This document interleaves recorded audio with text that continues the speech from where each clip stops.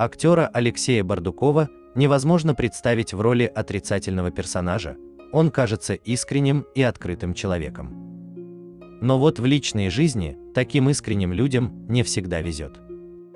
Алексей Бардуков и Анна Старшенбаум сыграли свадьбу в 2009 году.